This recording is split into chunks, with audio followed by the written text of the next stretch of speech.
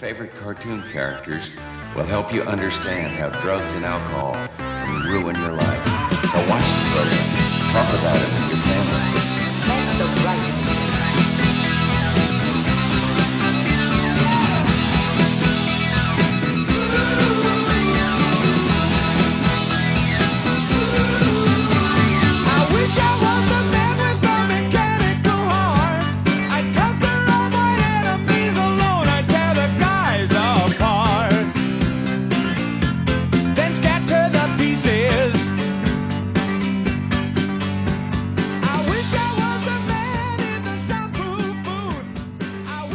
Everyone.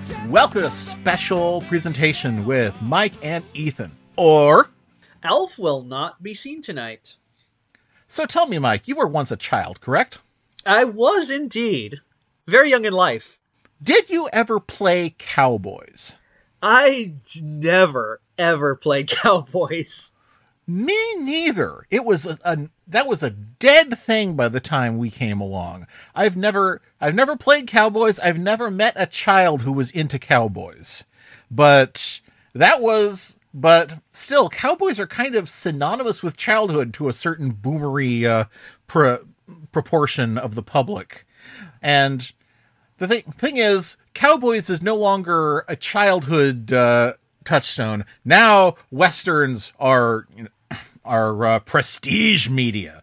Shit like 310 to Yuma and No Country for Old Men, that kind of thing.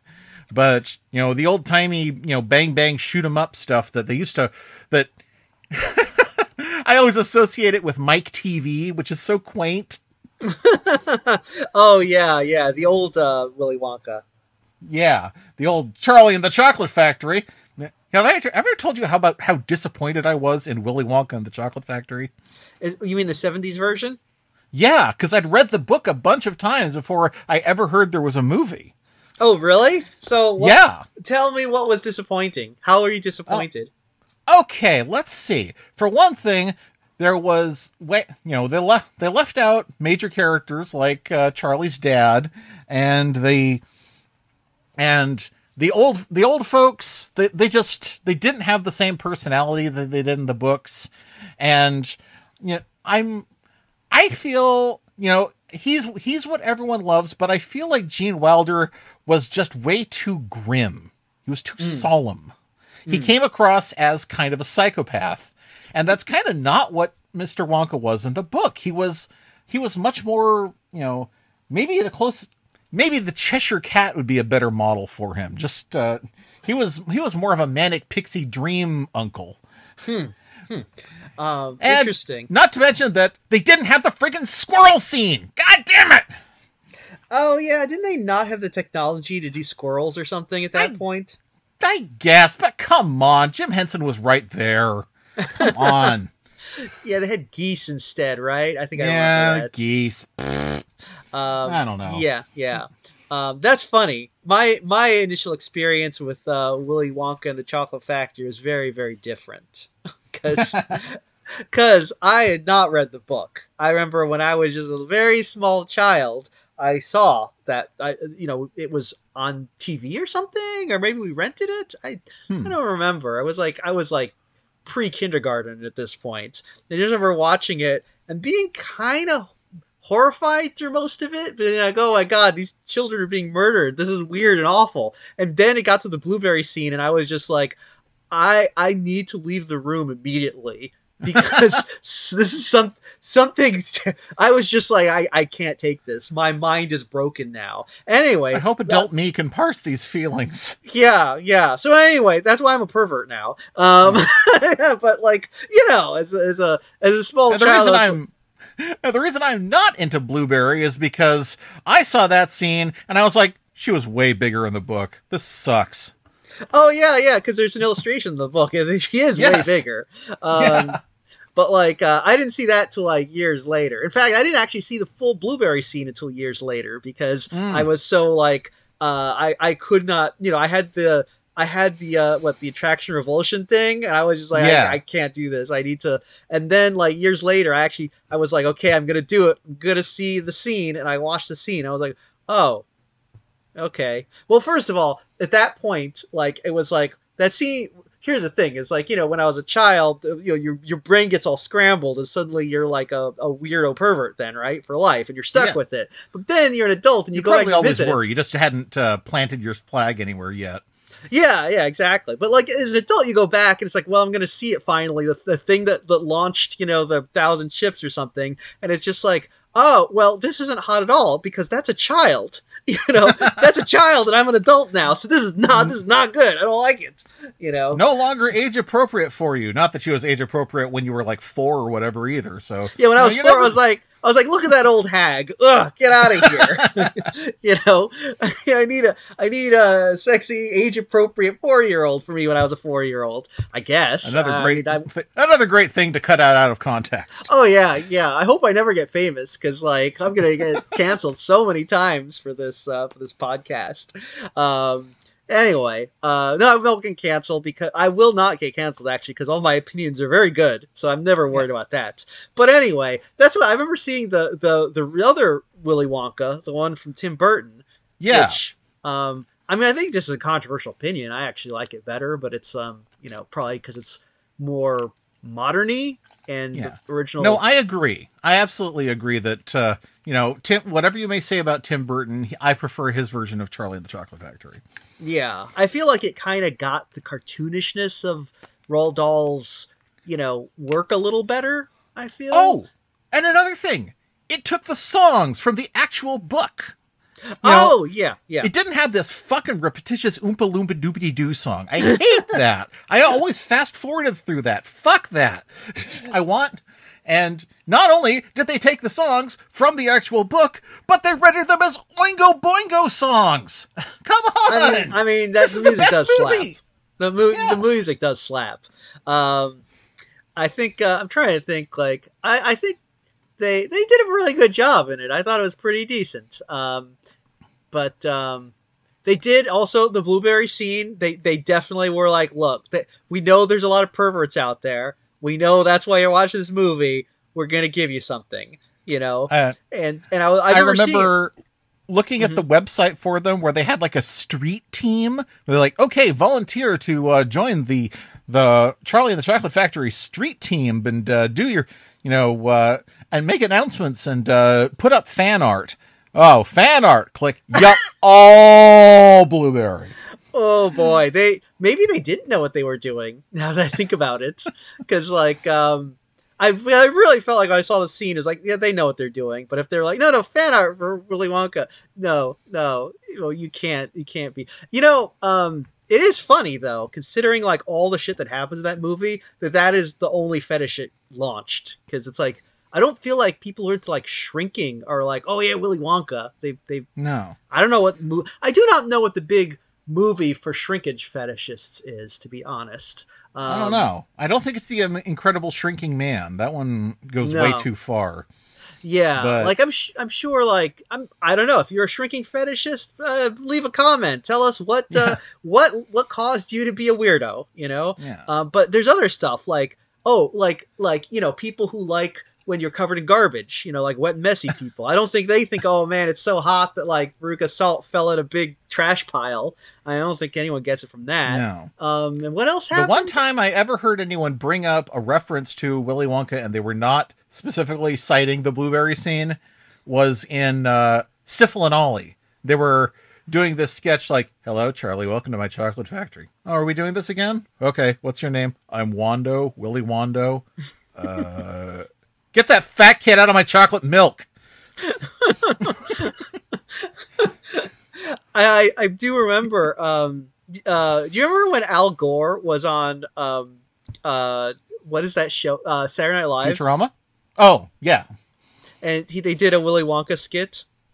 No, I did not see that. It was surprisingly good, considering it was like Saturday Night Live, which has always been like. I'm sorry, it's always been Garbo. Uh, people like yeah, to it's think that always there was a good time. miss It's- or miss or miss or maybe hit. Yeah, exactly. But it, he was. Uh, they had this bit where like it was, you know, the Willy Wonka chocolate factory, and like Al Gore was playing his uh, Wonka's brother, who was the factory accountant, and so you know he the Willy Wonka came and was like, "I'm giving my factory this this boy Charlie here," and uh, Al Gore's like, "You're giving it to like a ten year old boy." It's like, and he starts ranting about, there's all these safety regulations and problems in this factory. I mean, like, you know, I, I, and I, I, I had to take a psychedelic boat ride to work, and I think a, I think a fat kid just died in the river, you know. so I was like, oh, that's a, that was actually another, um, a, a very amusing mention of Willy Wonka that did not mention the blueberry scene. So those are the only two that exist. Everything else is just blueberry. Man, you know the funniest thing about that though is that um, Roald Dahl Uh-huh. is uh now you would think that because he wrote the scene that he was jerking off while he was doing it, right? I don't think he was. I don't think blueberry was his thing. I think if you read his oeuvre, it's very obvious that shrinking was his thing because that Hmm. happens a lot. I mean, it happens. Let's in see. Wil- Yeah. Yeah. Okay. There's the dreaded shrinks and the twits, exactly. and uh, that's also and that's what happens to Grandma at the end of George's marvelous medicine. Two. And uh, let's see. Oh, it's a different kind of shrinking, but in uh, but in Charlie and the Great Glass Elevator, and during the second half, you see the grandparents shrink into babies, Uh, three. and and of course we have uh, the kids from uh, the witches getting turned into mice. There's four. yeah. Um, let's see. Uh, Oh, Mike TV shrinks. We didn't mention him. So Mike five. TV shrinks. Yeah, I can't forget that. Yeah, so that's five. And oh god, okay, what else have we got here? Uh, there's no shrink. There's no shrinking in the BFG. Uh, yeah, but no shrink- but but think about it. Giants and regular children. There's some size difference going on here, so he's probably thinking about it. You know. you're right. And you know that means that we can also include the giraffe and the pelly and me. Yeah. So that's And- that's a seven. Seven right now. You know. Um, uh, the magic finger. Does the fact that the the the the Gregg family turns into into bird-sized humans and the birds turn into human-sized birds? Is that anything? You know, I'm gonna count it because because Okay. still. Because you know the, Okay. the there's some changing of size there. Like there's some general other transformation shit happening, but the size changing is always in all of them is happening. So you know, um, Uh, let's see. Uh, f- I don't think there's any shrinking in uh, the wonderful story of Henry Sugar. Uh, no, no, I don't think I don't think Matilda had any. If I I don't remember. Oh, um, James and the Giant Peach. Again, size change. He's Oh, hanging yeah. out with bugs. yeah. Wait, does he shrink or do the bugs get big? The bugs get big. the bugs big, get right? big. The bugs Okay. get big with the peach. So yeah. But he can, but but if he's writing it, he can imagine like what if what if he was like really what if the peach was normal size and and he's actually like little, you know? Like I bet Roald Dahl was thinking about that. So I'm gonna count that. Okay. That's nine, nine times. The, I'm I'm saying with with the with this sort of thing, once is an accident, twice is a coincidence, three times is a fetish, and we got nine. nine, nine times. Flashing nine. Nine times is a. Uh, uh, well, nine times is a Midnight Pal story, honestly. Yeah, yeah, yeah. I was gonna say one, two, three, four, five, six, seven, eight, nine, ten, eleven, twelve, nine. Yeah, so that is uh that is a incontra- Nine shrinking scenes. ah! uh, you know what? We just uh this this you know, I spent the entire week um diagnosing Tetsuya Ishido as, you know, an egg. Now I'm diagnosing now we're diagnosing Roald Dahl as a shrinking fetishist. Um but I feel like the ev- the evidence is right there. The evidence is there. We're just saying to you know what? If you don't believe us, go read his books yourselves. Cuz Yeah. come on. Anyway, um It's been almost 15 minutes and we haven't yet mentioned what we're talking about tonight. yeah, d- can you tell we must be really excited to talk about it because like we were so Yeah. eager to get into it. So uh, we, we were we were speaking of cowboys though. So yes. um, this is uh, this is the fact that it is about cowboys may already clue you in that it is not American. This is a Franco-Belgian production. It's Lucky Luke, or as as they say in France, Licky Luke. Licky Luke. Licky Luke. Um, yes. Uh, so this is uh, this is a very popular comic in Franco Belgium. It's uh, about a cowboy. It is uh, done by the Belgian cartoonist Morris. uh, who Yes. collaborated with uh, Rene Goscinny, who is better known, probably at least over here in the U.S., as the Asterix guy or half of the Yeah. Asterix guys. Um, and um, yeah, which kind of makes sense because this is uh, Lucky Luke, Licky Luke. Uh, I used to read this when I was a kid, and uh, it's very similar in uh, vibe to Asterix. It's Yeah, it's almost uh you know, it's almost to Asterix what the Snorks is to the Smurfs. We Yeah. moved the whole Asterix thing to the Old West as opposed to Old France. Yes, um, but it's basically the same sort of thing. It's kind of a, it's kind of a s- historical spoof that, you know, uh, plays very fast and loose with actual history. But like, yeah, it's for kids. Who cares? We're not, we're not here to get, we're not here to learn anything. We're here to have fun, right?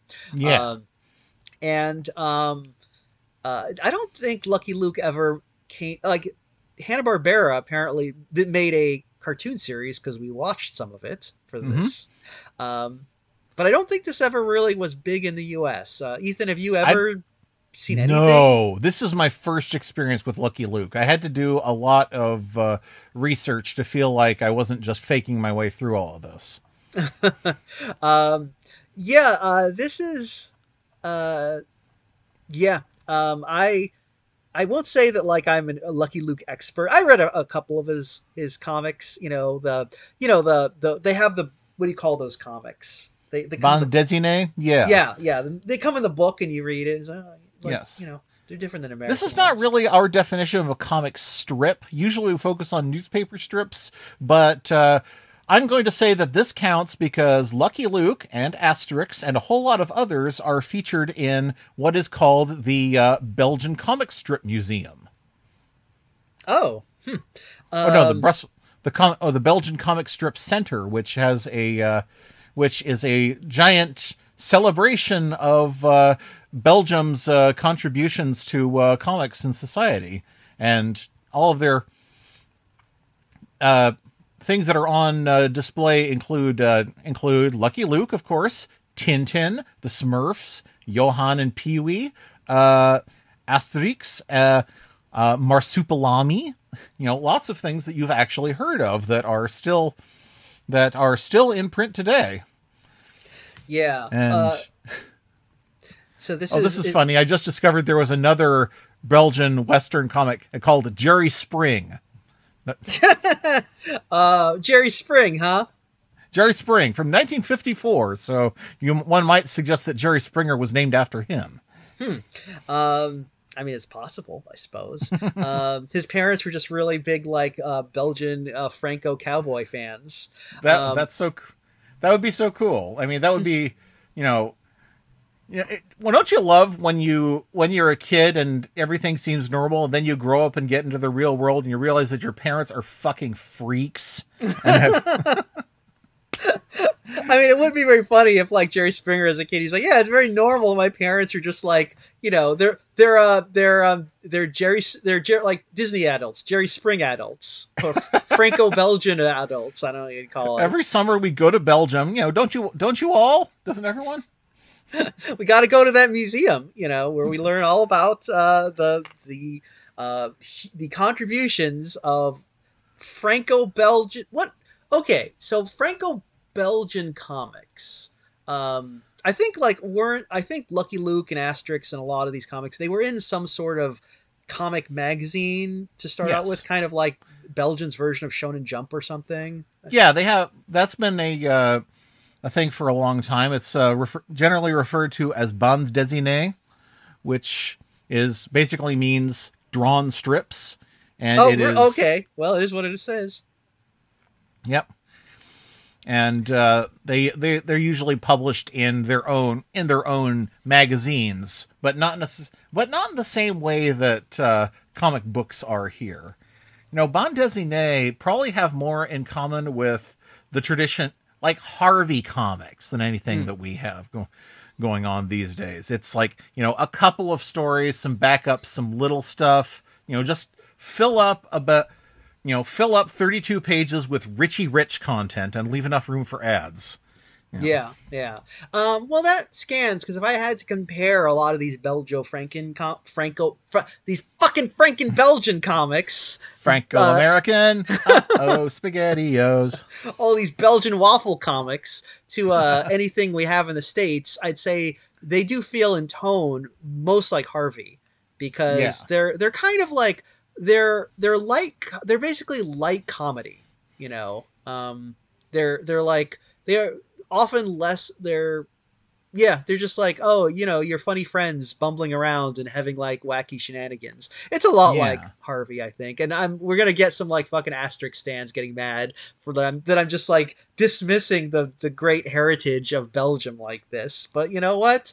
Um uh I uh, mean, whatever It wasn't written for us. It was written for Yeah. you. It's good that you like it. yeah you can like it it's fine you know it's all you know, we good never asked you to like our shit. I mean, like, hey, what's your favorite issue of X Factor? Oh, Yeah, yeah, yeah. We didn't ask you. We didn't ask you to come listen to our podcast. Why don't you go? Why actually, don't yes, you, we did. Oh, we did. Well, I'm saying, like, oh, you don't like, you don't like to, you don't like us rambling. We don't not talking enough Snuffy Smith for you. Why don't you go? And I can't remember who you are anymore. Just yeah, you you go? listen to more or, or watch more uh, Mickey Momo?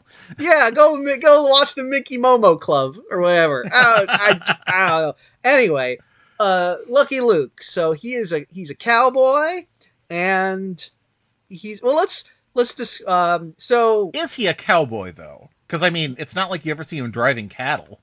Well, I guess that actually brings up a very interesting question about like how would one define a cowboy technically? Because um, you know, literally, a- cowboy, you know, the name cowboy implies they're involved in ranching and herding cattle. But there are lots of characters in in myth and legend uh, who we identify as cowboys despite having no connection with cows, because um, like the Lone Ranger, we would he's a cowboy, right? Yeah, except yeah, he doesn't own he doesn't own any cattle. And uh, let's see. Uh, Like uh, oh oh, now we're shit. What other cowboys are there? uh, Ra- Rango's a cowboy, and he's Oh, yeah, yeah. yeah. Uh, I mean, Brave, I mean, BraveStarr. he own cattle? He's a lizard. He's a lizard, yeah. Uh, BraveStarr's a cowboy, and he doesn't have any oh yeah. Um, the uh, the um, uh, the three ten to Yuma guy doesn't own. Oh, he is a rancher guess, actually. Yeah. But the, Oh yeah. Oops. the the other guy Um, isn't. The Ben. Shit. you know, the only the, one. um, I, the only one I can think of is Forgetful Jones, and I don't think he has cows. Well, he probably did, but he forgot them. No, he doesn't. I don't think he has. He's got a horse, doesn't he? Yeah, I mean, a cow. Buster. You know what? I think. Uh, you know what? I'm gonna say. I think having a horse is probably a a more important aspect to being a cowboy than having a cow. yeah, I would say that a cowboy is anyone that you can fit between a horse and a cowboy hat. Yeah. So, uh, well, you know what they do say. A cowboy needs a horse, needs a horse, Needs needs, a a horse, horse, needs a if ho- the horse, if he wants to keep a riding, uh, just like the song says. So yeah, I think Yeah, the you know, I don't think they realized when they made that song that they were basically laying down all the Western tropes for kids from now on. And anything that wasn't in this cartoon, we have no actual familiarity with. Yeah. Well, that's, I mean, because that's the thing is like cowboys, as we think, are like a, mythical creation. They're like fairies or leprechauns. Yeah. You know, as the, the cowboy, as we see him on, on film and television, doesn't exist in real life because actual cowboy, you know, it's obvious. Obviously, there were ranchers and, and, people who herded cattle and people who Yeah. lived in the old west and wore hats but you know they're not like they're not like the well, you know what I'm saying. they're not They're like not like Roy Rogers. Right. Yeah, They're yeah. not like they're not like singing cowboys. You know, that's that was kind of what people went to the cowboy movies for was because there was a whole lot of singing on horseback. That's why Oh, they're called yeah. horse operas. Oh, really? I didn't know that. Yeah. That's funny. because there was Uh, literal singing, yeah. well, I- and so we hadn't, you know, and not only that, you know, not only do kids not play cowboys anymore, country and western music is now just country. We've lost the western part. Oh, huh. Um, now they sing about trucks, so I guess that's a little different. Yeah. Um, Oh, uh, country boy needs a truck, needs a truck, Needs truck, a truck, needs a needs a truck, truck. If you want to keep it and he needs a bottle of pills, bottle of pills, bottle of pills. he, he, he uh yeah he's um Yeah. man um Rolling coal. yeah but no uh, actually it's it is kind of interesting to think about like the the western mythos and like what actually you know cowboy really is and does because very few Yeah. of the cowboys that we think about as like stereo you know, kind of archetypical cowboys actually do ranching and herding and stuff i think um i think actually they're most like they're kind of like um like rpg adventurers you know they just kind of wander from city Yeah. to city and have like you know they they catch bad guys and then they get a bounty it, they're literally just like you know Have gun will travel. Yeah. yeah They're yeah Kind of. You know, there's a sort of, and when you look at the actual, you know, who we think of as f- major figures in the Old West, you know, people like say Bat Masterson or Doc Holliday or something. You know, that yeah, there's there isn't a lot of actual association with you know cows. So so I guess there we should really not take the cow part literally. yeah yeah Annie um, Oakley, you know, Geronimo. Shoot. mm. mm. Yes, and, um, yes, and also there's the whole the whole issue with cowboys and Indians. That's a that's a, s- something that I don't think Lucky Luke ever really gets into. Thankfully, Um, I do believe. I think Lucky Luke does have some encounters with uh, Indians in Hmm. um, some of his adventures. I'd be very surprised if he doesn't. Mm-hmm. Um, I do know that there is at least at least one of his uh, one of his movies. He uh, there there Indians do appear, but I Hmm, okay. um, I don't know that he like, but I don't know enough to say like how, you know that. I um. Well, I'll just say this. Uh, I remember seeing the, the movie where it, Lucky Luke is the he's fighting the Dalton no the Dalton brothers. Okay, Yes. they're uh, they're they're they're recurring his recurring villains. There's these uh, these four brothers who all look alike except they're different heights. So Yes. I that feels very lazy to me, but on the other hand, it's very you know memorable. Yeah, it's very. It is also very kind of. It feels very um, Franco-Belgian. I don't know how to describe it, but it just feels like a sort of gag they would do in these in these Franco-Belgian things. Um, but like the, he fights them a lot, and he had a TV special or a movie, maybe it was a theatrical movie, I don't know, where for whatever reason the the Dalton boys were out of jail and they were trying to hunt down the the jury that had put them in jail and kill all these jurors one by one and Lucky Luke was basically like thwarting them. And one of the jurors was uh, a Native American uh, who uh, they attempted to kill him, but he outsmarted them, and they didn't and didn't kill him because he tricked them into drinking the fire water, and they all just fell over instead. Um, Ah, so it course, is. So. I'll say this. So that is my one knowledge of how uh, Native Americans are portrayed in Lucky Luke, and uh, it was not necessarily like it was not if the there's worst. a better way, let us know. Yeah, it was not like you know, it was not like oh, Lucky Luke is going out and massacring Native Americans or anything. So that's good. Um, I remember he was drawn in a No. style that was a bit stereotypical because it's European production, so you know they do that. Um, I Oh mean- yeah. I mean, looking look at, this looking at this list of historical figures that have appeared in Lucky Luke, I am both excited and cringing at the thought of Scott Joplin appearing in Lucky Luke. I'm actually want to know what Brigham Young was doing in Lucky Luke. I, I'm excited. Actually, I'm really excited for the Upton Sinclair episode. Oh yeah. They've also got Levi Strauss in it, so I Ah, just well- invent, inventing blue jeans, I guess. I, I mean, that's what he did. He was it was in Yeah. the Old West. That is a literal a cowboy thing. Cowboys invented blue jeans. Yep. Uh, oh, also, uh, Rutherford B. Hayes does appear in uh, wow. Yuck- Lucky Luke. So that's kind of a deep cut among American presidents. Um, although uh, it does kind of make sense because, um, well, we don't know where Lucky Luke takes place. You know, we don't know exactly. Yeah, I assumed he was in Texas, but he was able to ride to Canada in this episode. That's true. So it's it's um he's just in the West, and I I don't Yeah. think uh, we, we're not supposed to give it any more thought than that.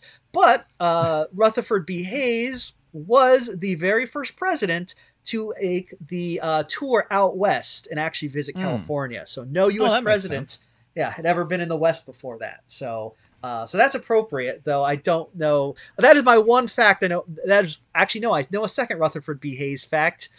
Get ready for it. He had Uh, the first he had the first telephone installed in the White House. Ah, okay. Yeah, uh, that's my extent of Rutherford B. Hayes knowledge.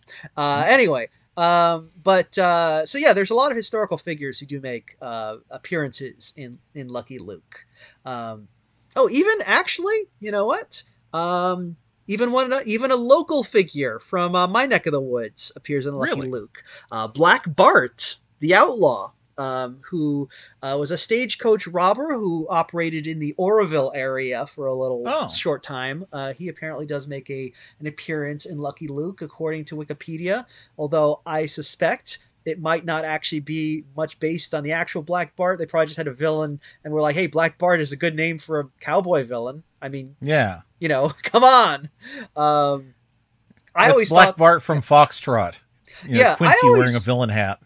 That's the thing is like I always just thought Black Bart was like just you know the generic bad guy cowboy name, and it wasn't until I Hmm. moved out here and I saw there was a real Black Bart, and I was like, what? okay, I didn't know Yeah, that. Black Bart. He was not, in fact, black. No, no, uh, I don't think his real name was Bart either. Uh, it was uh, Charles Yep, B. Charles Boles. E. Boles. Yep. Yeah, they called him Black Bart because, um, you know, he all when he when he stopped stagecoaches, he was all like, "Hey, don't have a cow, man." they call him Black Bart because he was always wearing those bootleg T-shirts. Yeah, he was like, "It's Air Bart." oh man, Sandra Bernhard. Oh no, Sarah Bernhardt. Totally different. Oh, okay. No, that, that's I'm not as I'm not excited about that one. Sandra like, Bernhardt. That would be hilarious. That- that would be Lucky great. Well- like, where are you headed, Lucky Luke? I'm going downtown to see Sandra Bernhard. She's hosting Pepsi's A List. Well, uh, unfortunately, in the in the what in the episodes of the cartoon series we watched, we didn't have any, um, you know, big name celebrities appear, Yeah. uh, which is kind of a shame because some of these sound really interesting. I mean, Abraham Lincoln, uh, Victor Hugo, man. Yeah. Um, but uh, instead, Emperor Norton. oh my, is he, does, is he on there? Oh, that'd Uh, be great. There's a fictional version of him, but yeah, it's it's supposed to be like him. Wow, that is amazing. I would love to see the Emperor, the Emperor Norton episode. Um, well, actually, these may not be ones who appeared in the um, uh, series. These may are probably all just from the comics. I have a Hmm, feeling yeah. that the uh, I have a feeling that the series probably was like, look, kids aren't going to know what these are, so fuck it. Yeah, yeah. This is this is very much. I don't. I don't haven't read enough of the actual uh, Lucky Luke comics to say whether or not this this cartoon series is dumbed down. But I do know that it's from you know the people who gave us the Smurfs, and the Smurfs was fairly dumbed down compared to the actual comics. I mean, there were elements, there were very smart elements of the Schtroumpfs comic that uh, didn't make it into the cartoon. Yeah, So, yeah. I imagine that it's the same here. I could be wrong. Um, I mean, I remember reading them when I was younger, and it has been a while. So, I mean, I'll say this: the comic, the the cartoon, uh, it it gets. I feel like it. The basic plot is the same. You know, like this is basically what the Lucky Luke comics are like, but they did excise all the little like chicken fat, like little jokes and things for the you know for the grown ups, Yeah. and they just made Sometimes it. it felt like they excised big jokes. Yeah, they just yeah, not a lot of jokes in this one at all. Mhm. Um they they kind of um well, you know, I I guess it's uh it, it is it is a um what do you call this? It's a it's a western spoof, I guess. Yeah, it's a Western spoof, and you know, like I said, kids only know Western Western stuff from the spoofs. It's not like you actually have a kid in 1983, whenever this was, who had been you know consuming westerns all their lives, sitting down and be like, "Oh boy, Lucky Luke." Because you know, the thing is, Lucky Luke started in 1955. It actually is one of these literal Western things from the time when Westerns were the biggest thing in the world. Yeah, I mean, you know, it's from the '50s because when he started, Lucky Luke actually smoked. He had a cigarette. Oh, yeah. um, And he didn't and- stop until the 80s. Yeah. So uh, yeah, and you can tell in this one, this is the this is the woke Lucky Luke because he is uh, chewing on a like a like a, a stalk of wheat instead of smoking. Um, Now I remember as a kid, I remember seeing him smoking in the comics I read, but that was you know in Europe where people were still smoking, you know, until uh, now probably they love to smoke. You know, that's the thing in Europe. Um, Yeah. They also They did not give up smoking the way we did. You know, and it hap- it happened so fast in the United States that it went from every. You know, we've said this before. It went from everyone smoking in Ghostbusters to nobody smoking in Ghostbusters Two. Just the space Yep. of six years. Yep, but it's coming back now because we're all vaping these days. Um, yeah, yeah. Boy, we almost had the first smoke-free generation, and they're like, "Wait, what if you made tobacco taste like Runts candy?" it's a great idea. It tastes like candy. They'll love it. I, Um, you know, I will say that you know now when I happen to walk outside and I get a like a whiff of cigarette smoke, it's just like boom, it's the '80s. It's the '80s, and I'm like lost and separated from my family in a Chuck E. Cheese or something. oh God, do you remember when they used to have those machines you could just buy cigarettes out of, like in the Yeah. lobby of everything?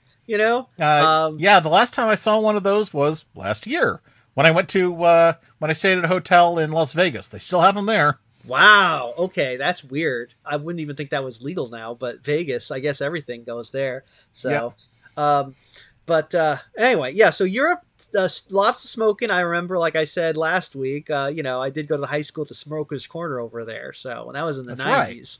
Um, the other thing that the Europe, Europeans love, of course, is as you can tell from Lucky Luke, cowboys. They just absolutely love the American West, even more than Americans do, because it's you know so exotic. Um, Yeah, I mean, it's so hard to sell something with a Western theme these days, especially to kids. Kids have no interest in a cowboy thing. I mean, I mean, BraveStarr only lasted one season, and BraveStarr was pretty damn good. yeah, and yeah. uh, it's definitely better than He Man. And uh, what was the next thing after that? The Wild West Cowboys of Moo Mesa. Ugh. I mean that that that already had uh, something that already had something stacked against it, but you know because oh they're cowboys, they're cows. Everybody Yeah. loves cows. Really? I mean, Really? you know, the Ninja Turtles' tails had been dragged to shreds. You couldn't ride them for much longer. No, no. I do like that Moo Mesa. One of the fascinating things about it is the fact that the government of Moo Mesa is absolutely corrupt, and you know, and the real, literally the the, the villain of the series is the the sheriff who is you know in cahoots with the mayor is like bilking everyone and Hmm. um you know and and secretly like running it like an outlaw operation and uh the ca- You did get more of that in the uh, 80s and 90s from kids stuff than you might have thought. Remember how one of the major villains on Toxic Crusaders was the mayor? Oh, that's true. That's true. I guess you know that was like if, if only we learned from these cartoons not to trust Yeah. authority. But actually, maybe we did because like the kids are all right. Um, Yeah, kids are doing great. yeah. It's just that they Um, die. Except yeah. unless Um, but anyway, no. But but Europeans love the Western. Uh, my grandmother, when she was you know a, a young kid, uh, teenager, just like devoured Western pulp. Uh, Hmm. fiction, and she was uh, I should have she was German because like otherwise it makes people like what are you ta- why are you talking about your grandmother? It's like she was European is what I'm saying. Of course, this was also like a long time ago, so I don't know about you modern European kids what they're reading. Um, I don't know, probably they're probably well, looking my at their mom came of age. My mom came of age during the Western era, and she had, and she told me that she had a, uh, you know, that cowboys saved her life because when she was sick with measles, before there was a measles vaccine, she had a dream that uh, Roy Rogers and Dale Evans were coming up the trail to her house to rescue her. So Wow. Oh, well, Yeah. that's that's pretty cool. Wait a minute, there was no measles vaccine? Yeah, not that. This was like you know nineteen, you know, the early fifties. So Oh, jeez, jeez. Well, good news. Soon there won't be one again. We're getting rid of all of them. Uh, we're bringing back measles. So, Anyway, Martha's um, marvelous measles. Well, anyway, we're very happy though because um, we have Lucky Luke. So Yes. we can uh, let's talk about Lucky Luke himself. He's a cowpoke. He's a lonesome cowpoke, and uh, he's yes. he's uh, As far as I can tell, he doesn't have. This is an extremely sexless world. You know, the only female character I saw in the whole thing was the Dalton brothers' mom. Yeah, I, I don't recall there being a lot of women in um in the Lucky Luke comics either. Um, it's not like Asterix where that there's that one really hot woman who always appears in the background, Mm. and Cleopatra too. Um, but uh, I don't. Yeah, I don't know. Well, you know, the American West. Were there any women in the West? Probably not. Uh, You know. Calamity Jane, um, Oh God, I guess I guess the West has gone woke. Annie Oakley. Uh, Oh yeah. All right. Okay. ver- you know. Oh, oh no, no, no. Sorry, I, I read about. I remembered the story of this, the this one per, this one person that uh, they said was the first woman to vote in the state of California. But upon further reflection, no, Charlie Parkhurst was obviously a trans man. Oh, I didn't know that Charlie Parker was the first person to vote in Cal. The first, um, Yeah. trans man to yeah, vote the first uh, AFAB to vote in California. I'd say. Yeah. That's uh, one-eyed Charlie, right? I believe so. Yeah. Okay, yes, the, I have. the stagecoach driver. Yeah. Yes, I've heard of him. I didn't realize that he voted in California, though. Yeah. Um, well, let me think. Um, I can I can think. Okay, what? Here's a here's an ear early California uh, pi- pioneer, um, Nancy Kelsey, who is Nancy the- Kelsey. she was uh, she was in the first wagon train to cross over the Sierra Nevadas into California. Uh, oh, really? I did not yes. know that. Now, there were, of course, other pioneers who come to California before that, but they all came either through Mexico or down through Oregon. The first one to cross directly over the Sierra Nevada was with Nancy Kelsey, who I believe actually had a baby while they were on the trail. So there was actually someone born uh, on the way to California. I think she was like 20 at the time. Not the baby, she was, you know. Um, if I recall correctly, it's been a little while, but um, uh, yeah. Anyway, um, and uh, other there's probably other women who are in the West, um, Yeah. but Children were born in the West, so there must have been women in the West. yeah, here in the Wild Wild West, um, When I roll into the.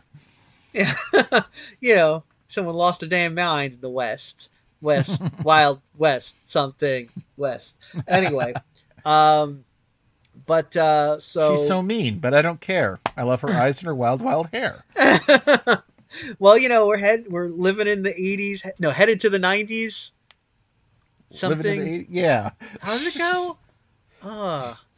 I don't know. Uh, I was just that I was just uh, paralyzed by the by the frightening disembodied dancing arms and legs in that video. I if only Xinjing Men was here, they could explain to us that because uh, there's actually one of those. You know when you go to uh, those when you go to Las Vegas and you, they have those booths where you can basically do karaoke and it films it on a video cassette and gives it to you Yeah. at the end. Like they had one of those for Wild Wild West. Um, I had one actually of those too, but it was for Wild Thing, which um, Ah, I yeah, was- I've seen the yeah. Wild Thing video with you. It was on Yeah. one of your uh, one of your uh, awful crap collections. Yeah, because it was pretty awful crap. It was not good. uh, I'm not a good singer, but uh, anyway, um, anyway, uh, Lucky Luke. He's a cowboy. He uh, he's kind of.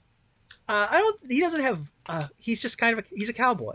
He's uh, yeah, the name is correct. He is in fact very lucky, and that's kind of his major his major uh, personality trait is that he's lucky, but he doesn't believe in luck. And I think that's saying something there. Lucky Luke was born on third base and refuses to admit it. Yeah. Um, his he's got his personality is he's very laconic. I think you could Yeah. say. Um, he actually feels like he should be a singing cowboy, even though he doesn't sing.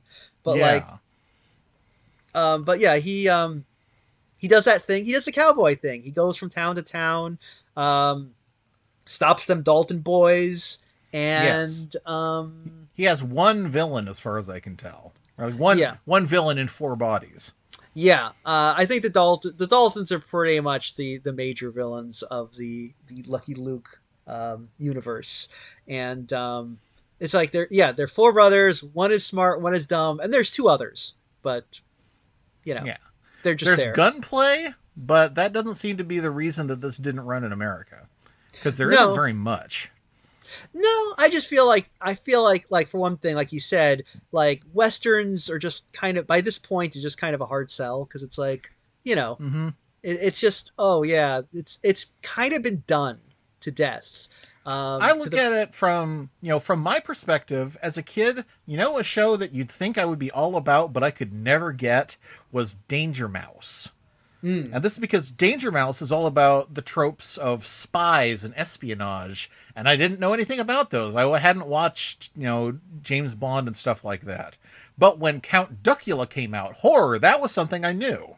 So yeah yeah you know you can you can riff you know if you're going to make a riff on a genre you have to make sure there's some familiarity with the genre more than just the broadest strokes Yeah. So like, yeah, I think that's the thing is American kids in this came out in the 80s, I think. Um, yeah early Yeah, 80s. I feel like American kids would be like, I mean, they, they, I think they'd know what a Western was. You know, like I would have known, you know, like I, I understand the concept of cowboys and they live in deserts and there's Indians and, you know, those, those towns with the, the, the wooden boardwalk and everything. But, Yeah. you know, there, there's, they, it's just, I'd be like, that's for old people. That's been done. Um, something if you jazz it up a bit, like put them in space or dinosaurs there, you know, it's a whole different story. You know, if it's Valley of Gwangi, but uh, just a pretty straight west western parody. I don't think Americans are. I don't think Americans are as enamored with this as the Europeans are. You know, No. like I mean, I think, I, I think the Europeans kind of look at the Western the same way that Americans look at like you know uh like anime where it's like wow it's so weird and ex- oh look at these samurais and ninjas. Whoa it's so exotic you know? Um though actually if you think about it samurai movies and cowboy movies are pretty similar. They're pretty much the yeah same most thing. of the cowboy movies that uh, are best known are literal remakes of samurai movies. I mean yeah because like the, the magnificent seven is basically the seven samurai. Right. Um, and you know the uh, High Noon is um, a remake of Shanghai Noon, Yeah. and uh, and uh, um, and uh, I can't think of any other ones. But um, actually, you know what? Now I think about it, so so cowboy movies. Okay, wait a second. Wait a second here. I just thought of something. So cowboy movies are basically just remade samurai movies, right? Mhm. And Right.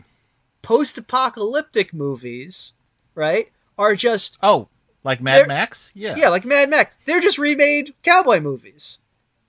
And barbarian movies are just remade uh, apocalyptic movies. So you Oh. got like like all these genres that are basically just the exact same thing. You just plug them in different locale locales. Yeah. All you all you need is a barren place to shoot and people who are okay with taking off some measure of their clothes and you know you got a you got a movie going. There you go. I mean, I think like there's some like that's the thing is like uh, a, the the desert is just great for adventuring, you know. Yeah. And and I think Yeah, that's cuz the there's so much nothing. Yeah, I mean, I think that's what all all of these movies are basic. And again, all these movies, again, they're basically uh, a Dungeons and Dragons module. You know, it's about like uh, like a, a a loner, or sometimes he's got his posse, and they just travel through the wasteland and uh, find towns where there's a problem, and they solve the problem, and then they move on after collecting a bounty or something. Sometimes, and everyone's like, "Who was that masked man?" Well, I don't know. He sure cleaned up this town, though. Um, Little far side uh, nod for you guys. yeah, you know, real heads know. Um, Speaking of Posse, that's actually my favorite western movie. You ever seen Posse? I don't think so. Yes, it's a mostly black cast uh, western where a uh, group of uh, a group a uh, group of former like I guess uh, servants to a Confederate regiment get away with a bunch of uh, stolen gold and flee west, and we have and there's this really cool scene where the where they're melting down the gold so it can't be traced, but the leader says, "Give us make seven gold bullets out of this for me." And the and so he comes back to the goldsmith. He's like, "Well, here's seven, but you don't have an you don't have uh, a gun with room for seven, do you?" And uh, he's like, "It's all right. I'm going to make room for it." And he immediately shoots the goldsmith. and then we cut back to the leader of this posse as a young kid watching a troop, you know, watching a crowd of seven people string up his dad, and one of them is the goldsmith. Oh damn. Yeah. Oh, this movie sounds pretty boss. this movie's badass. Yeah, I re- I recommend it. That was like I was like, oh man, they beat uh, Kill Bill to that uh, zoom in uh, revenge time moment. Oh damn. Yeah, you know what? Um I'm not a huge fan of westerns, but when they're done good, they're pretty damn good. You know, like Yeah. I, I think probably I'm trying to think like if, like there's some good ones like uh, Once Upon a Time in the West, of course, is you know probably the greatest of all time by you know uh, what's his face that guy the guy that makes westerns. The hell is his Yeah, name?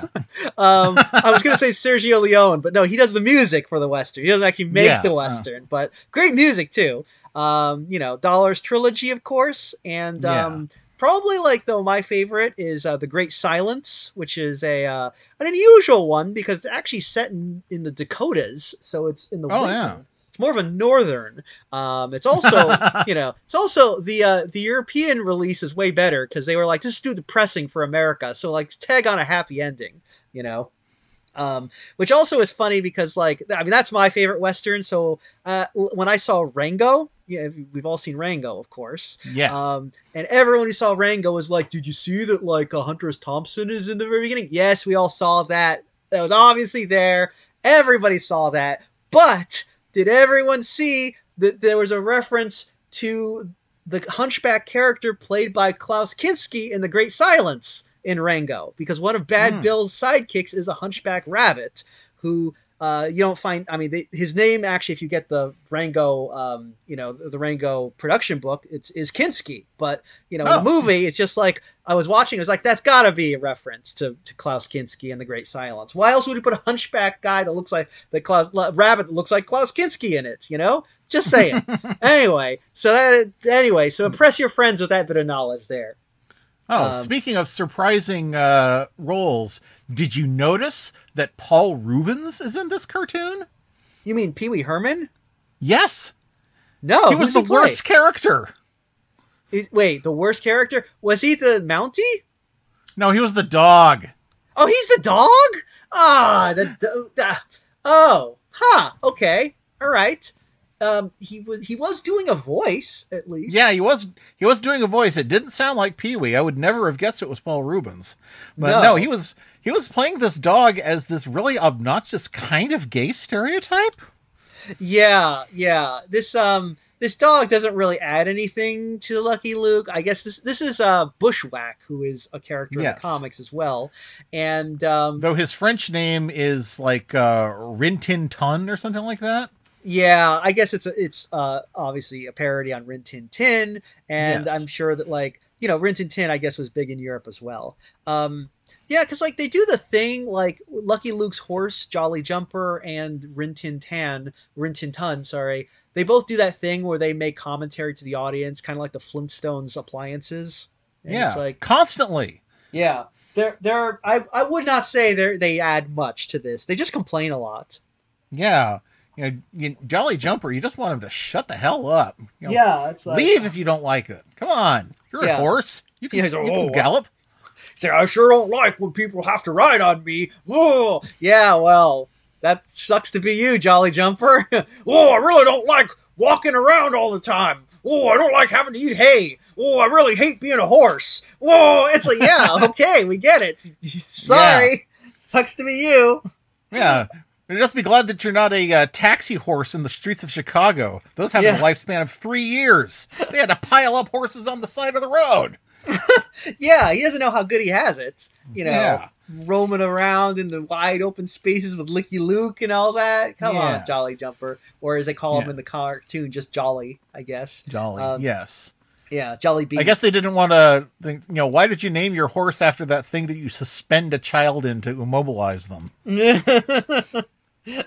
it was, uh, yeah, not not The a well thought out plan. Well, in any case, so yeah, we have uh, Jolly Jumper, we have uh, Bushwhack and Lucky Luke, Yeah. and they, And they Bushwhack, when he when he turns to the camera, he always says something like, "We dogs love doing whatever it is I'm doing right now." Like he's trying to convince you that he's a dog.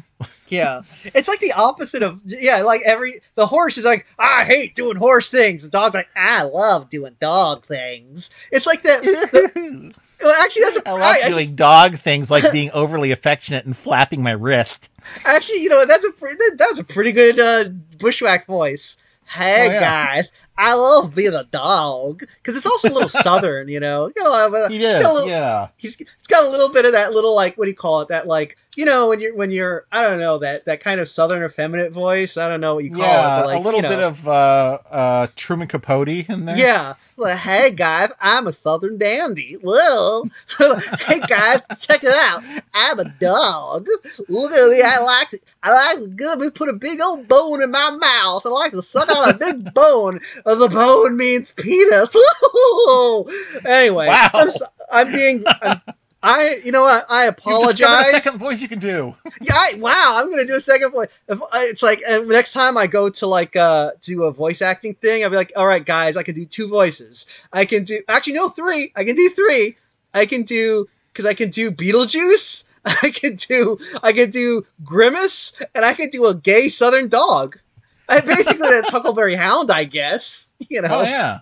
that's wow, everybody. I'm Huckleberry Hound. I sure do like Huckleberry. Why? I don't know what he does. What's his What's his theme song? Nah, his catchphrase. I don't I know. don't know. He just wanders around singing "Oh my darling" forever. I hate that dog so much, and not and I and not because I'm being homophobic. I don't No, no. judge Huckleberry Hound for being gay. I just find him annoying. I don't think he's an You interesting know, if they really played up him being like a gay Southern playwright, that would be a lot better. yeah, wasn't that Snagglepuss?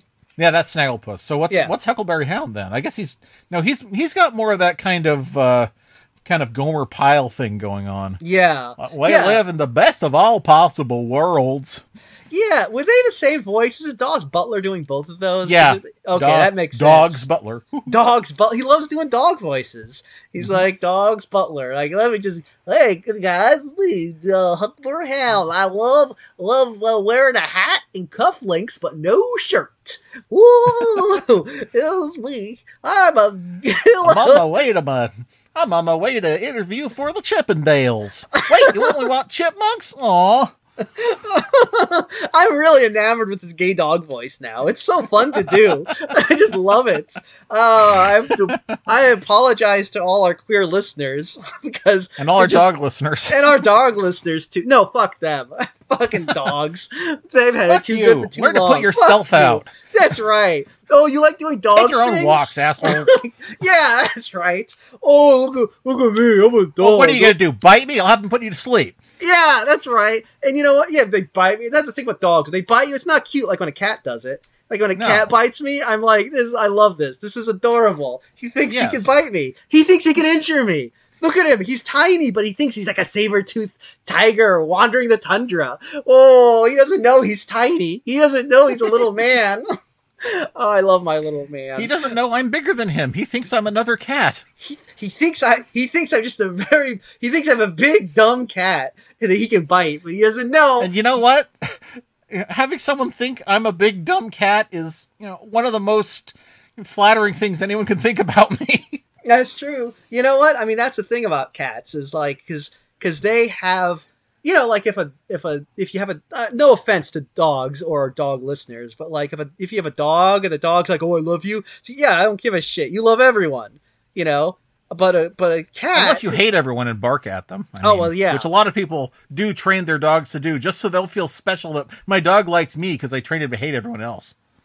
Yeah, well, you know, uh, two can play at that game. Um, but that's the thing with cats, though. If a cat, a cat can choose. A cat has independence, so if a cat chooses to like like you, it's like it means more. You know, it's like this is an autonomous being. Oh, I love cats so much. Oh, Yes. they're such good animals. Anyway, but so much better than those gay dogs. Oh, you know what? Actually, I think I Um, like gay dogs better than the regular kind. that's true. You know, I like uh, when you have gay when you have gay dogs and gay cats living together in mass hysteria. It's fine. I think that I think that gay dogs should be allowed to get gay dog married. I I'm, yeah, I think they should be able to vote. I think so too. I agree. I agree. We are taking a stand here that like uh, they should allow gay dogs to vote. Um, yes. And I'm not not in the not in the dog elections. I mean, in the people elections, they should be Right. allowed to vote for people. You know. Um, now, but uh, straight dogs, uh, I don't know. That I don't know. You know, what? but we're gonna have a uh, what is it, a three fifths compromise with straight dogs. You know, a straight, straight dog is worth three fifths of a gay dog. Lucky Boy, Luke, sure everyone Lucky Luke. we love we love talking about Lucky Luke. Anyway, but no, we were speaking of. Was there Can anything you else? guess that Lucky Luke is something that uh, Mike suggested again? Yeah, I'm. I'm. There was not. Well, you know what? Uh, we watched two episodes and we talked about neither of them. So Yeah. very quickly, one of them, the Dalton brothers go to jail and their mother busts them out. It's like the Beagle Yes. Boys' mom. You know, it's one of those. yeah, of she's even shorter than all the rest of them, but has the same chin. Yeah. Um, that one, I, I was kind of amused at the fact that like everyone is like a, like she's going around town robbing everyone, and uh, they're just like, well, we feel bad for her because her sons are in jail, so we just let her rob us. I thought that was kind of funny, actually. That's Um, a, that's actually really charming. Yeah, I, I feel like that's actually too good of an idea for this. That they should actually, you know, you should actually make a movie about that concept and set it in the West.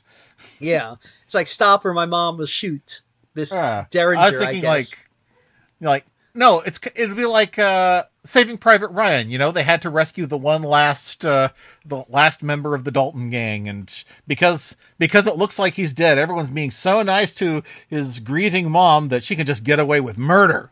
Oh, actually, yeah, that would be pretty good. We should put some gay dogs in it too. Yeah, yeah, just, yeah. just you know, just cause. Um, Pee Wee Herman can voice him, I guess. Oh wait, Yeah. I'm sorry, he's not with us anymore. Um, yes, unfortunately. R.I.P. yeah, yeah, yeah. And R.I.P. to Roger Corman, who could have directed this movie. Oh, he would be perfect. He would. Uh, did he ever do any westerns? I'm kind yeah, of uh, surprised. the Gunslinger. That was on Mystery Science Oh. Theater. I didn't realize that was him. Okay. Um, yeah, he was a real one. Um, but uh, Lucky Luke, uh, this episode, I mean, it kind of, I feel like, I feel like this episode spends a lot of time people traveling between places, so it Yeah. kind of it it makes it feel kind of a slog way more than it should, um, Mhm. considering that it's a pretty simple plot. Um, but I do like the fact that it does that typical cartoon thing where you know, if you want to go be in disguise, you just wear someone's clothes, and even if you are like completely physically different, no one will notice. Yeah. Which, you know, it's a very standard cartoon thing. That's but boy. boy, you sure put on some weight and some hair and some mustache. yeah, I do because yeah, two different characters dress up as the Dalton mom, and uh, it works both times. Even though Yeah. one of them is the Dalton son with a mustache, the other one is Lucky Luke, who is like eight feet tall, and the mom is what two feet tall, but like nobody notices. Um, Yeah, I like how the uh what are- the uh the jailer is just you know digging him in that outfit. It's like what a get up. Excuse me, moment fap fap fap fap. it was like, what a dame! Wah, wah, wah, wah. well, you know how it was in the old west. Weren't a lot of there weren't a lot of ladies around, so you know. Oh, yeah. No, And except, the ones they had were, you know, old and gnomish. Yeah, yeah. The only ones around were, were like Ma Dalton and Lucky Luke. Anyway, um, but uh, Surprised that the dog or the uh, horse didn't get dressed up in the in the dress at any point. oh yeah, they really missed an opportunity there. Oh, like also, the- did you notice that Ma Dalton's dresses came in four sizes, I- just like the kids? I actually thought that was kind of amusing. I, I, I um, it, it does explain. I mean, I wonder if because I thought it would be a throwaway joke, but then I guess it's important because that's why Lucky Luke can dress up. But it does raise Yeah. the question of why she has it because does you know does does she change size or are there four moms? Well, maybe she was as maybe she was as tall as Averell uh, went about twenty years ago, and she's lost a lot of height due to uh, malnutrition since then. Oh, that's true. I mean, that is that is yeah, the, the four thing. The four Dalton brothers are named uh, Joe, William, John, and Averell. Hmm. I've I've never heard the name Averell before in my life. Is is that a, is that a name? You just make that Uh, up? It sounds like some sort of generic um, uh, f- uh, flea medication. But uh, yeah, no, I've never Averell heard is for men only. Um, it sounds Pregnant like, women must not handle Averell or handle no or take broken t- tablets. It, I assume must be a European name. Like they probably thought like this is a typical American name, Averell. Yeah, Um, just like Licky Luke, very very American sounding name. Um, well, um, I guess then like they, they get the Daltons and put him back in jail at the end. So that's what Yeah, this there. time with their mom, so at least the uh, the cooking at the jail is better. Yeah. Um, yeah, it's too bad. Yeah, I'm still thinking it is too bad they didn't put the dog and the horse in the dress because then the horse could be like, "Oh, I hate wearing dresses," and the dog could be like, "I love wearing dresses." You know, We dogs love wearing dresses. that's right. The dog. Try just- putting one on your dog at home.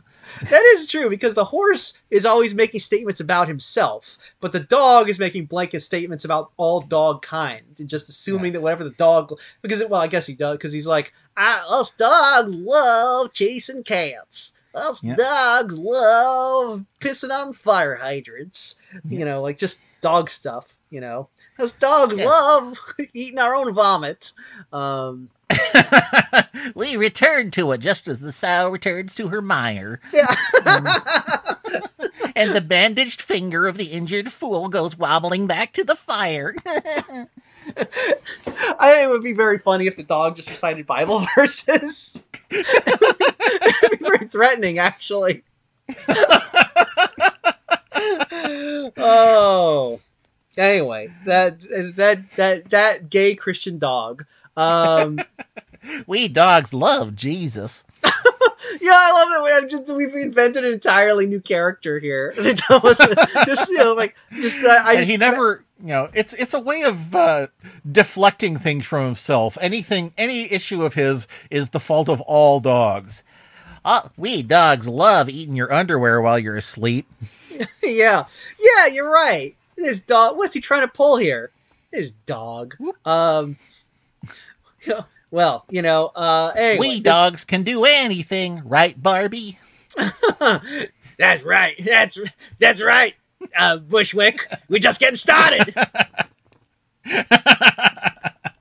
I'm having i like so how you much gave barbie fun. the beetlejuice voice Yeah.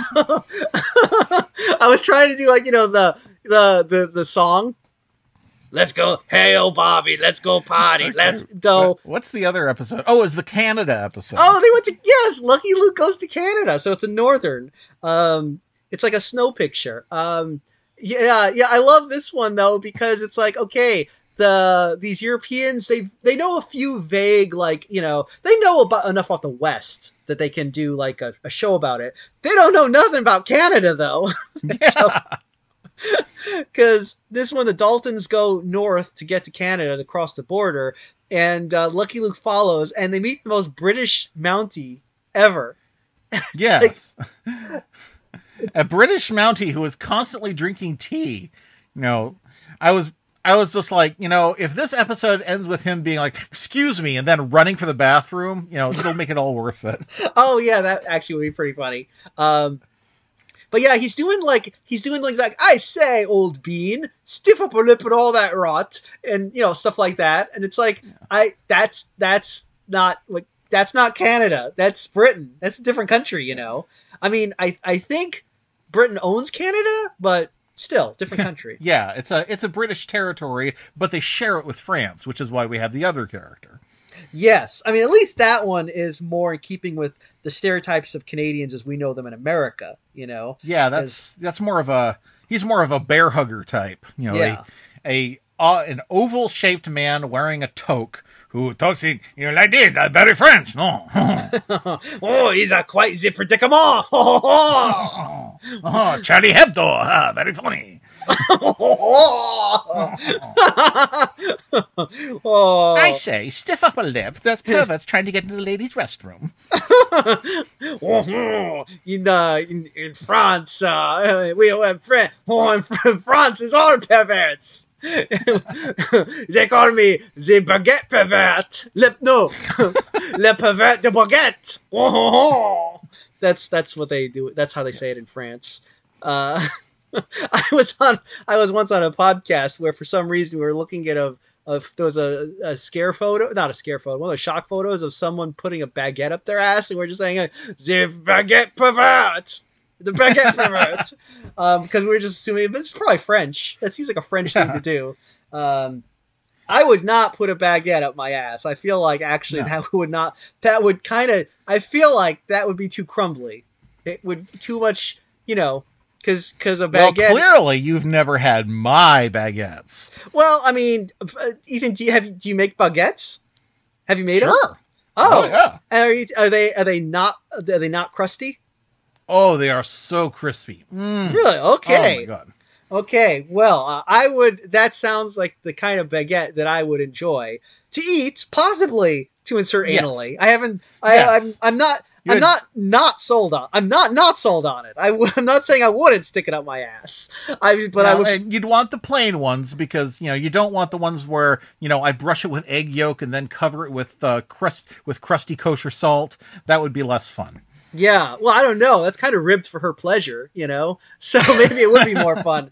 I don't know. Actually, this is a whole new territory for me. So I'm gonna go to my wife. I'm gonna go to my wife and be like, "Hey, um, honey, I've got I got some ideas we should try out in the bedroom." Yes, this is uh, this is uh, this is let's just this say is called this is called putting a bun in the oven. Yeah. you know, this podcast is too spicy for TV. It's not your dad's podcast. This is this is one. This is Lucky uh, Luke, man, Lu- Lucky Luke. taking us weird places. yeah. So anyway, Lucky Luke with uh doing with the ba- with the ass baguettes and the and the gay dogs. This is this is a thing. This is uh wow, what a cartoon. Uh, thank you, Morris and Goscinny, for giving us Lucky Luke. Um, but anyway, this Canadian thing, they I guess they just what do they do? They just they get the Daltons. They st- they get the Daltons again. I guess that's pretty much it, isn't it? Yeah, they get the Daltons, but let's see. The first one was like going from the from the town to the jail to the Dalton's house to the Daltons' new uh, new hideout to back to the jail, back to the hideout, back to the jail. This one is just a long trek all the way up to Canada, and then they sort of loop back down, and they finally chase the Daltons back onto American land where they can be arrested again even though they Yeah. did a whole bunch of crimes in Canada, you know, and it looked like again, it looked like they set up a joke that didn't end up do- happening because because the we have this the Canadian Mountie who's like, oh, he would he would never, no one has ever done any crime in my jurisdiction. What what? And then they get away. The Daltons get away with a uh, cash register, and then they drop it, and then it cuts away. So it looks like the intention was going to be like the cash register was empty or something. But then they just cut back, cut away to uh, Lucky Luke being like, "Oh, so somebody stole a cash register? Oh my word!" So they set up a joke and then they didn't do it. Yeah, I was kind of thinking like, okay, it's gonna be something about how it's full of worthless Canadian money or something. I mean, what's what's the deal? Yeah. But, um, yeah, they they they don't really. It's just also Canada is just like there's not enough Canada jokes in this. It just looks like like America, you know. Yeah, Um, I, I, wanted mean, you know, like like uh, Queen Elizabeth said, "Without me, you're simply Americans." yeah. I mean, I thought that they would have like you know uh, a bunch of beavers and maple syrup and eating poutine. I don't know, you know. Tim Hortons. I guess they didn't know that much about Canada. I guess not, but I mean, I guess I can't blame Yeah. them because they are Europeans, so their only experience with Canadians is when Americans go to Europe Yeah. with, uh, and pretend to be Canadians. they 'cause only we- know. Well, I mean, they're French, so they should know some. Well, I guess they. That's why they knew more about French Canada than the regular Canada. Yeah, yeah. Um, and I, I've heard French Canada. I, I hear they're. Uh, all I know is that they're they're supposed to be very rude there. I, I don't know if that's Hmm. true though, or maybe that's just real France. I don't know. Yeah, I, really I haven't sure. heard about French Canada being rude so much as you know actual France being rude. But I think uh, a lot of people think that Americans are rude too. So you know, maybe What- I can't pass judgment. What I've the fuck? Who says France. that? Those fucking fuckers. How dare they? We're the most polite people ever. Um, don't they know that Amer- Americans are extremely polite? We love lining up for stuff. That's true. You know, uh, I don't see them doing that over there in Europe. Um, but um, yeah. Anyway, uh, yeah, they didn't know a whole lot about Canada, so they were just like, yeah, it's it's like America, but it's it's well, up. It's got snow, I guess.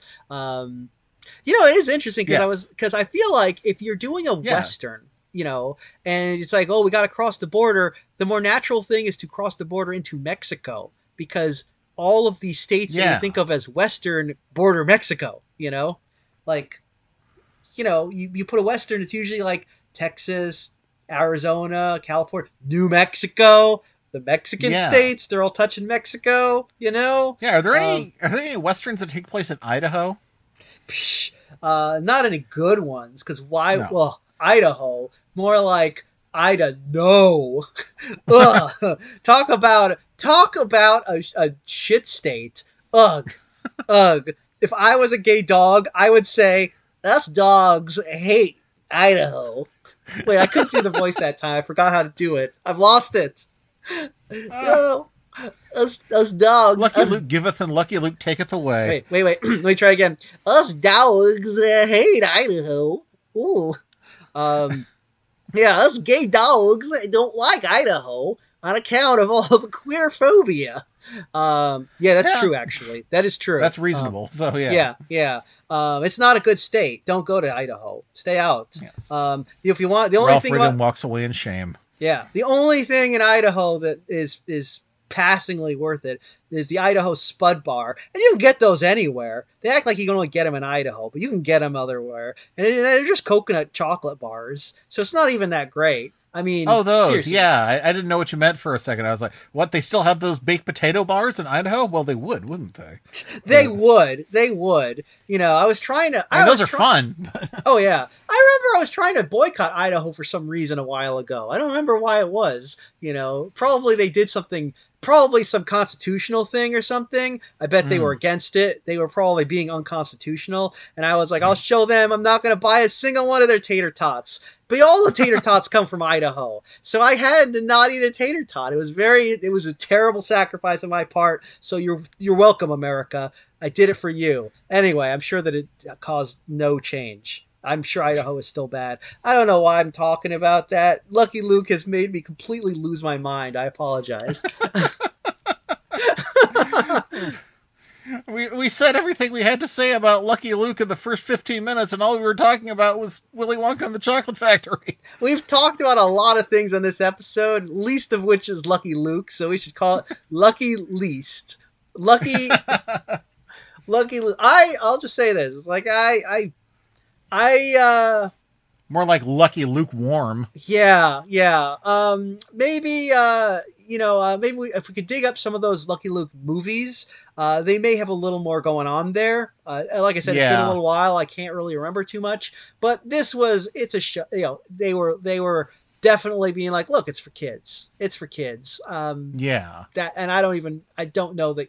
I don't know ki- kids would probably enjoy it because kids will watch anything. But I, I, yeah, I guess so. I mean, you know, well, I mean, we say that, but even as a kid, there were things that you hated and you'd never watch, right? that is true, actually. Um, I probably would not watch this.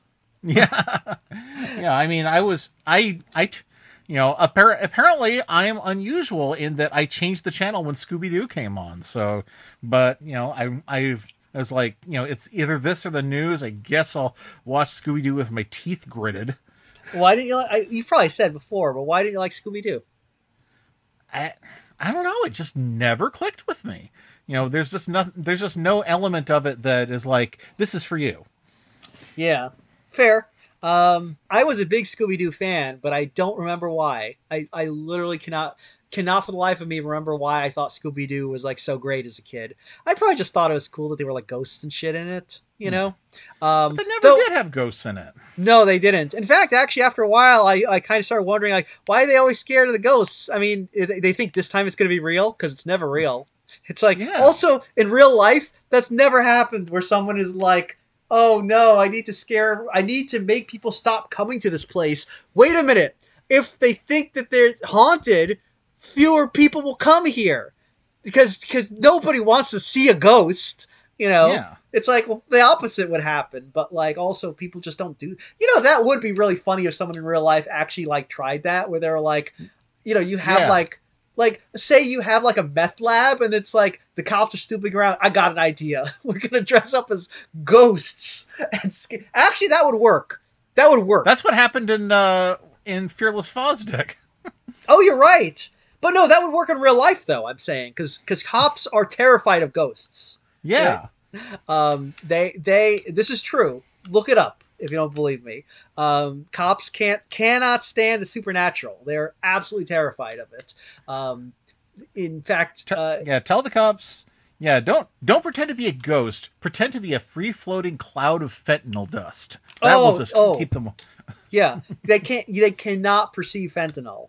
They can't Yes. perceive fentanyl. Um, and uh, And it some- makes them, and, and when they touch it or uh, get like a single grain on a mucous membrane, it makes them fall backwards stiffly with their legs sticking straight up and with a lily in their hands. Yeah.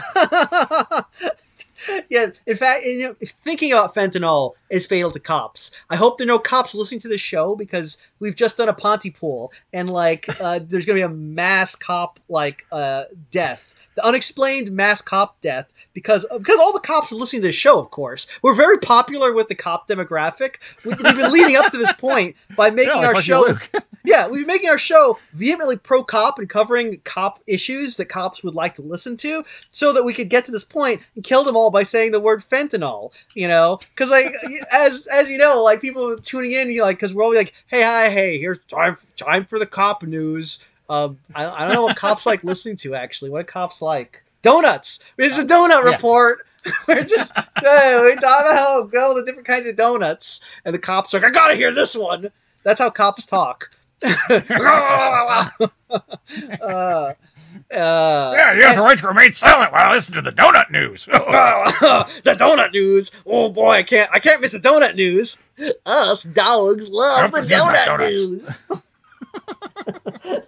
Hello, it's me, Donut Dog. The new character that everyone knows and loves. Donut Dog, the, gay Christian dog. This is like that's like a puppet show that would be on public access. Donut the gay Christian dog. Okay, I, we should write this down. It's such. It's just see. We should. Uh, I. Uh, I yeah. am building. I am building the puppet right now. Get started on more episodes of Deep Cuts. And we'll be ready.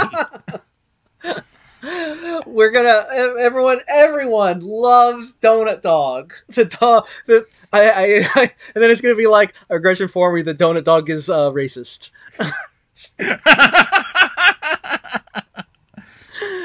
oh boy. Okay. Anyway. Um. Is anything else we should say about Lucky Luke, or we have we exhausted?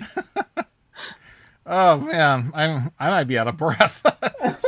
Lucky Luke is, I mean, I I feel like we've done it a bad turn here because we were so disinterested. We just laughed about you know lots, you know everything else but Lucky Luke. But you know, I feel like you know because it is like the last living you know cowboy thing from the era of cowboys that's continually getting new uh, comics and new cartoons and movies and whatnot, we do. I think we owe it a second chance. So we should probably, yeah, we probably should look at one of these movies if there's like an English version. I don't Yeah. want to have to translate the French version. It's like, oh, ho, Lucky Luke, Luke is oh, oh, oh, oh. Yeah. Um, Ah. oh, Lucky Luke on his oh antidepressants. Oh, um, Lucky yeah. Luke by Glass Joe. uh, but yeah, we'll we'll um, yeah we'll see if we can find some of this other Lucky Luke uh, stuff to to really to talk about it without getting derailed about uh, uh, the the gay donut cops and the um, uh, no that wasn't what it was it was the the gay donut cop. it's the gay, gay donut cops. They're look. Do they look, do they bust gay donuts or are they like you know rescuing gay donuts? I think no. They're they're cops who like they they're they're cops who they you know they're like regular cops except they're also gay. You know, so they're like so you know that's the whole thing is they do cop stuff. And people are like, aren't you? Uh, wait, I thought this was like gay cops. Like, yeah, but that's that doesn't really define us. You know, we just do. Bob they're Flower and homosexual donut cop. Yeah. Actually, I just stole that whole thing from uh from Yeah. Bob the Angry Flower, but where he was like it was a gay robot cop, I think. Yes. yeah. Uh, but uh, anyway, the ga- actually Doing no, what maybe- cops do best, hassling panhandlers. Wait, wait, wait. Okay, Th- this is uh, what if they are? But if they are donut, like they're made of donuts, right? Oh, the, the, Okay. then they're the cops from Wreck It Ralph. Yeah. Oh, were they donuts? They were donuts. They were because they yeah, were. they were donuts Crush. wearing pants. That's right. They wore pants. Oh, yes, it's weird. that's what they said in the uh, in the art book. Is like sometimes you just gotta man up and draw donuts wearing pants.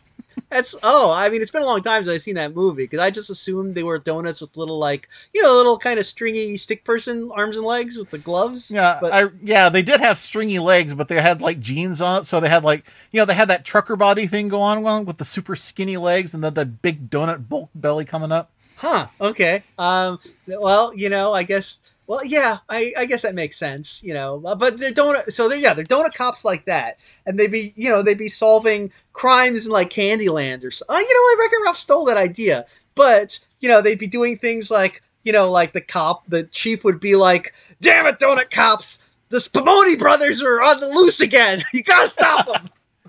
you know. Spumoni brothers! I tried him for murder. Gave him a chair. it's like, okay, donut cop, you're a loose cannon. You're like, we're gonna, I'm gonna put you with a new, you gotta, you gotta team up with a new partner. This by the book partner. It's be the the uh, Tweety Bird popsicle with the with the, the mismatched with the eyes that are like mismatched. Hello, it's me, Tweety Bird popsicle. Yeah, this is Yeah. I still. And the Tweety Bird part is the body. The the uh, the popsicle stick is the fe- is the head.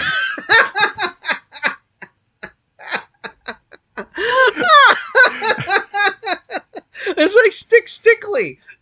It's like he's like I'm not working for Nickelodeon anymore. Now I'm now I'm a cop. It's like I used to be a, a cop Nickel in a pop. I'm a copsicle. a copsicle. There you go. This this copsicle kit won't don't melt. It was like he's half popsicle, half cop, all heart. A copsicle. oh, all right. Anyway, thanks for joining us for a Lucky Luke. Or Happy uh, Lucky Luke, everyone. yeah.